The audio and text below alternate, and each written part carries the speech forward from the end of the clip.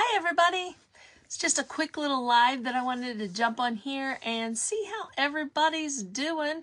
I hope you guys are having a fantastic, fantastic, fantastic day. Um, I want to um see if I can put a direct link in this live. Um, I should have done it beforehand, but I didn't. So, oops. But you guys, if you're watching on replay, make sure you hashtag replay. Um, I wanted to show you guys these beautiful papers from Paper Paperomia. P A P E R O M I A. Paperomia. She's over on Etsy. And I am going to right now go to my live here and I am going to put a link to her shop so that you guys can go check out her um, page right here. Now it's a long link because of the way I did it, but um, it should work. Right there it is. That is her Etsy shop. Okay. Um, she has this wonderful, just look up underwater um, to see these beautiful papers. And look at all of them that you get them. Get now. I did just single side them because you guys know how I like to do journals. Sometimes I like to take other books and cover the pages with these, which is probably what I'm going to do here. But these are beautiful. But uh, what I thought I would do is I would hop on here and um, I'm going to pin that comment uh, pin comment. That is directly to her shop, okay? Um, this is, you can do a complete journal with this, all right? But I thought I could show you guys these papers and then over the next, you know, little while, couple, you know, probably a week or so, we'll hop on every once in a while and we will just do some fun things with these papers because they are amazing. So I'm going to show you this. These are um, 8 by 10. Obviously, you can resize them how you would want to do them. But look at this. Look at this page here. Does that not look 3D or what? Look at that. That is beautiful. And with me just coming back from the beach, these are just perfect. Look at these are going to be absolutely amazing to do stuff with. Look right here. This guy right here, it just jumps off the page with you.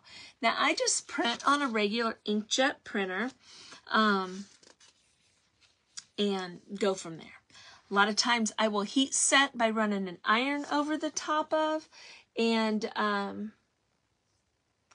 do it that way. I'm trying to get my comments to come up over here. There's my mom. Hi, mom. How are you? Oh, so my laptop's being kind of weird and I don't see anything up here at the front. But anyway, so, but look at the mermaid right here, you guys. These are absolutely amazing. I love these. Now, I may have some duplicates because I was trying to print as I was running out the door, but it don't look like I do. But it was 41 pages of goodness. Look here. Look at those with the fish and all that. This is going to be something that's going to be absolutely fun to do. What I'm probably going to do is, I'll show you here in a second. I've got a couple hard-covered books over here that I think I'm going to use it as the base. I think. I don't know for sure yet. As the base on here. And then just put these on here and do some fun stuff with. I am thinking that we need to do some... Look at her. Look at her. Look at that. Look at that face on that. Is that not beautiful or what? I am thinking that we need to do some glitter. I'm thinking we need some sparkle. I think we need all kinds of stuff in this. But look at this page after page after page of full sheets of these to make us a fun little journal with. I don't know. I don't know if I'll do that or if we'll figure some other, you know, like cover type thing. Hey, Mary. So heat press, doesn't it run? So it doesn't run or hairspray. Those are gorgeous. I know. Um, yeah, I, I heat I heat press, but now does it work perfectly? Absolutely not. Because I don't have the right printer for that kind of stuff. So when it gets wet, it can still smear, but it does help a little bit. So what I do is I just take a piece of parchment paper and I just take my, I just take my heat press that I do my t-shirts with and I just hold it on here just for a little bit. And that just helps some, but I try real hard not to get it totally soaked, you know? Um, look at her. Is she not beautiful? That just kind of helps so it doesn't run so much um, as if you just go directly on it. The other thing that helps is I use a little bit thicker paper. It isn't cardstock paper. It's kind of in the middle, but it's not the thin um, uh, copy paper, so you don't have to get, it, it doesn't have to soak through. So it does help a little bit.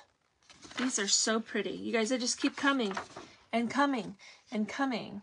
I, you know, I was looking through these when I was looking at them earlier and it was like, you don't even have to do anything. The pages are made for you. You know, this would be a beautiful piece to make you a little book to that you could just like sit on your coffee table or something like that that people could just kind of look through and see. Look at her earrings, you guys. Look at her earrings. Simply amazing simply amazing. And like I said, we just came back from Florida. If you guys saw my video where we found all the sand dollars, we had we found over 60 sand dollars. We made it home with about 30. Be pretty on a shirt. Yes, it would be pretty on a shirt. Um, made it home with about 30. So stay tuned for that because I'm going to make each one of us a um, t or not t-shirt, like a canvas. And I think what I'm going to do is I'm going to put St. Pete 2024 on there, like in the center, do some painting on there, maybe put, I brought back some sand, maybe put a little bit of sand, and then I think I'm going to go the sand dollars around it, make one for Izzy, one for Lily, and then one for us to keep, and then um, put some resin over the top. I think that would be pretty. But these are going to be fun. I would go ahead and start working on this, but we just got back from vacation, you guys. I'm just being totally transparent here. Um, we was just live in our VIP group and did a project and um, being off for a week and out of sync on our third shift thing. I'm going to take a nap here a little bit. So I just thought I would show how beautiful they are.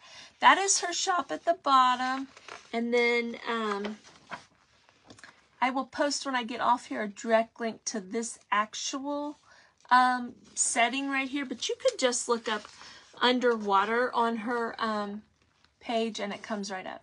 So there's pockets, there's bookmarks, you know, here's some more pockets.